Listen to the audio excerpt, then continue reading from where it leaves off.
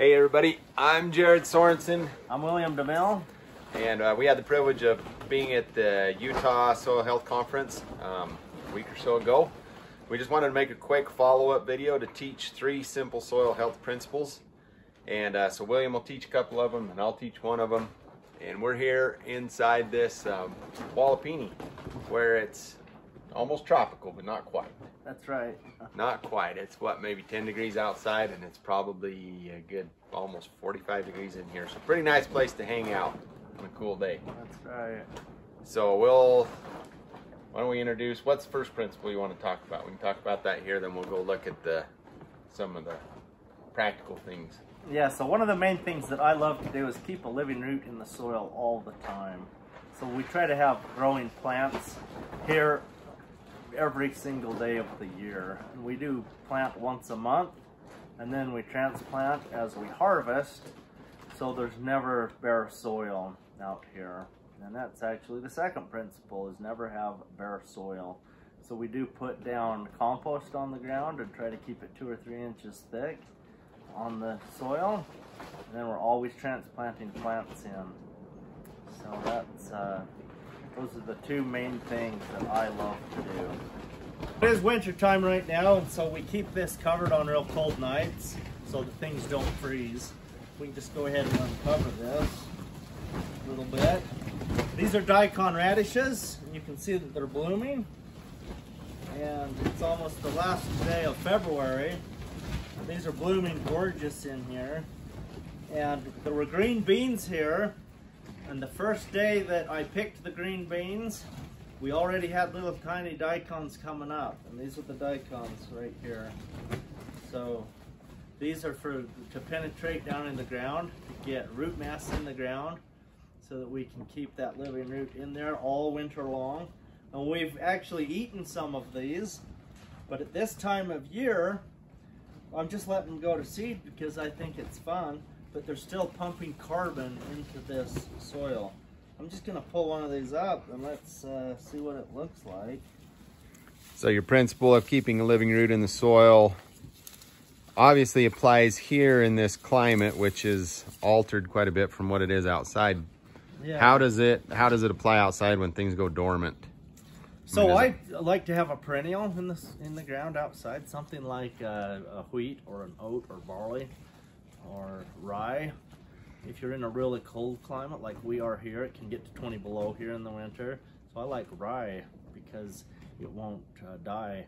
So an, And an annual, but something that will overwinter. you mean? yeah, so yeah, Yeah. right. I said perennial, but Okay. but it's going through that winter time um, season for sure. But perennials will do that year after year. I do know what a perennial is.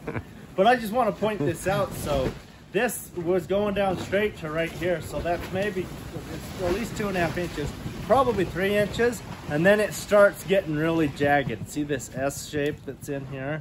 So this S shape is showing us that this is trying to penetrate through a hard pan. So it hit the hard pan right here. And that's about the depth of my uh, compost. And then it, that soil, we've not tilled this uh, for a year now, year and a half almost. Um, and we'll never till it again in here, but it did hit that hard pan. So the heavy clay soils in here have compacted. And so we need to be growing roots like this continually so that we don't develop these hard pans. Awesome. You see that. Okay, so the principle that I wanted to talk about is diversity. Oftentimes in modern agriculture, to improve efficiency, we want a monoculture. That means like a single species over acres and acres. That improves our efficiency of planting, harvesting, herbicide, and uh, but the the challenge is, is we also sacrifice the level of soil health when we are looking at just one species, and it makes it more susceptible to pests. So with what William has done here in this Walipini, which granted it is, you know, a controlled environment, it's not like it's necessarily out in the elements, but the same principles apply here on a small scale as they do on a large scale. So just, I mean, curious, how many, do you have an idea within a range, how many different species do we have growing in this uh, 3,500 square foot space here? Probably 20 species. Okay, so 20 species. So right here, I can look at a cover crop, which has three species, cereal rye, vetch, and daikon radishes. And where Williams cut the radishes and removed it out to be able to compost it, he left the roots in the in the soil to be able to decompose, to be able to feel or uh, feed the microbiology. And then over here we've got, so this is this is just feeding the soil. The radishes are obviously edible, but that's not the purpose for planting them. And then we've got, you know, two different species here. We've got what some people might call weeds, um, but it is sequestering carbon. It's pumping sugar and carbon down into the soil. It's feeding the soil microbiology. And so as William pointed out, as long as it doesn't go to seed, it's our friend because it is providing cover. And if you just look down these rows, you've got lots of different species. Here it is the end of February and we've still got green things growing year round. So diversity above ground, diversity, that means there will be diversity below ground diversity in the microbiology. Um, and William can talk more about the different key species. I know how to identify earthworms. I don't know how to identify anything else unless it's a mushroom, and I know that's a fungus, and we do have that in here. Um, but bacteria, protozoa, and all the other good creepy crawly things that you can't see to the naked eye. Um, if you have proper diversity above ground, you know it's going to be there. Doesn't mean you don't check for it, right? But that's the that's the idea. So monocultures, they mine nutrients from the soil, they're chemical fertilizer dependent, and uh, while they may be more efficient, they are not going to feed soil health like a polyculture or multi-species. So diversity is super important when it comes to soil health. Okay, the other big soil health principle that I love is keeping the ground covered. And there's two ways that I like to keep it covered. One is with a living plant. So that's what we've got here that we just talked about with the cover crop. This is the same cover crop that we would use in an outside system. It's super fun because everything outside is covered with snow, but in here, this uh, is starting to bloom. The daikons are blooming, this hairy vetch is blooming, so it's really fun at this time of year. But this keeps the soil completely covered. And so the microbes are gonna be happy, they're gonna be healthy.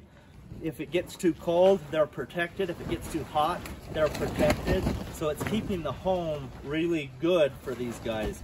And they're being fed from all of the living roots. So they have food, water, and shelter. And so they're gonna work hard for us. If we go over here, we look right under these broccoli plants, uh, we have a lot of compost on the soil. So this is the second way that we cover the soil is with this compost. And the compost is a source of food. This is organic matter, and this will also keep it from getting too hot or too cold.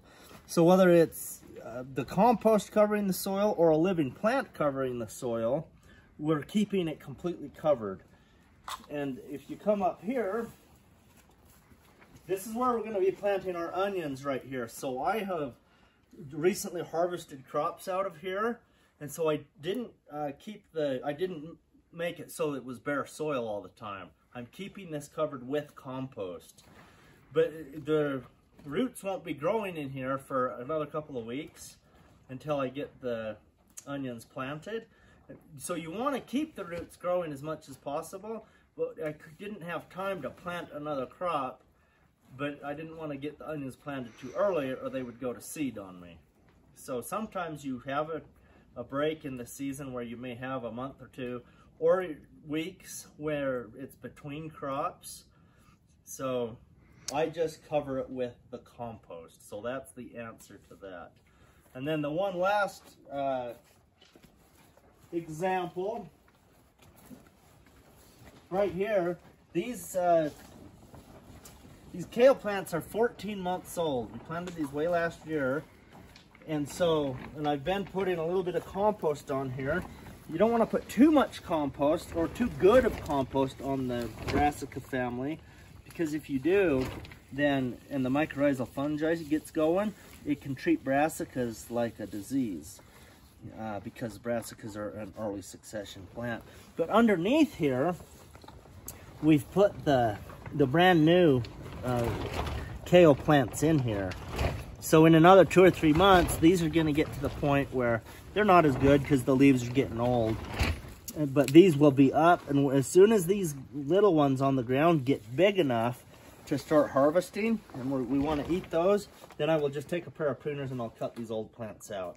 And then those ones underneath is, will be what we eat for the next year. But so there's just different ways of covering the soil, either with living plants or with compost or a combination of both. Awesome. So just one question. I know probably people are wondering and I'm wondering. So on this section where you did compost, how do you do that at a scale? You know, when you've got a hundred or a thousand acres, um, when you take a crop out, what's, uh, what do you, what do you see as a solution for like, or larger scale farmers? Yeah, so anything that's not a little garden, you would grow a cover crop outside and you just um, roll it down with a roller crimper. That's the main thing to do. Uh, the one place I haven't figured that out is on rangeland, where you have big boulders and other obstructions. But if it's in any, any kind of a developed a field like a pasture or a cropland, just uh, between crops, I would just grow cover crops and then roll them down the roller crimper, and that keeps that mulch on the soil. Awesome. So not necessarily the compost wouldn't be practical, but um, uh, other solutions like compost teas and extracts and things to be able to to introduce biology is something that we've experimented with. You want to speak on that for just a minute? Yeah, for sure. Like say you had a thousand acre ranch and it's uh, and you're and you need to get that biology in there, then you would make some compost piles and then you make a compost extract and you take your tractor through and you um, just chisel in the the extract. And the extract is going to be full of the right amounts of bacteria, fungus, protozoa, beneficial nematodes, and maybe microarthropods, depending on how good your compost was. But if, once you get those things in there, you get that complete soil food web into the soil, it will flourish and be beautiful. And then you can start saving money on all of the man-made inputs that we're doing. Awesome. Okay, thanks. Okay. okay. We got Weston here with us. Um, so just in conclusion, so the, the three, or the soil health principle I talked about was diversity, um, diversity above ground in, in the crops that you grow, and that'll provide for lots of diversity below ground in the micro, microbiology. And William talked about the two principles of keeping a living root in the soil and keeping the soil covered. Yep. So we know that this isn't all inclusive. Um, we want to invite you to come and join us this summer for some learning experiences. We've got various classes, internships, um, gardening boot camp. So I'll talk a little bit about the classes that I'm heading up. Um, there are four different classes sponsored by the Savory Institute. We're going to talk uh, in the first one about grazing and specifically about building a grazing plan. We'll go into the financial side. Ecological monitoring will be the third one. And then the fourth one that I believe is in October is on more of the land planning. So just kind of taking your taking your ranch, putting a map on there, and maybe even disregarding all the current infrastructure and you just kind of build the ranch that you want. You overlay that and then you see maybe it fits with what you have, maybe it doesn't. But the reason that I like to do that is because it gives you a lot more ability to create and just maybe think and not be so constrained about where you build fences and put in water troughs and um, how to be able to maybe irrigate more effectively and those kind of things. So, so those will be the classes. And then we also have a ranch internship opportunity. So I think we have um, uh, one person committed. So we have at least one more opening on that opportunity to come and work as an intern on the on the cattle and the more of the production side. So what do you got going on, William? We're going to do uh, Feed Your Family Boot Camp. You'll be here for three days, and we will teach you everything you need to know to have a big, beautiful garden, to uh, produce a majority of food for your family. And the other thing is we have a 17-week program where people can come here and live on site. You can bring your own RV, and you can live here. We do have some limited housing available also but that is throughout the growing season and it's focused on the vegetable production. And we will be teaching you the production so that when you go home, you could start your own food producing business. Um, you could either be a person who creates just one um, type of a, a crop, maybe that needs to go into your local food system, or a multitude of vegetable crops. That's up to you what you grow, but we will teach you the basics of how to do it. Yep, had good good results from the class that William taught last year. People went home and they actually grew things. Yep. So it's a good thing. So we invite you to to check it out. Reach out to us if you have additional questions. Uh, but thanks thanks a lot for jumping on this video and watching it with us. And we hope that you'll continue your soil health journey, whether it's with us or whether it's on your own. There's lots of resources out there, and if we can help, we would love to help. That's right. Thank you.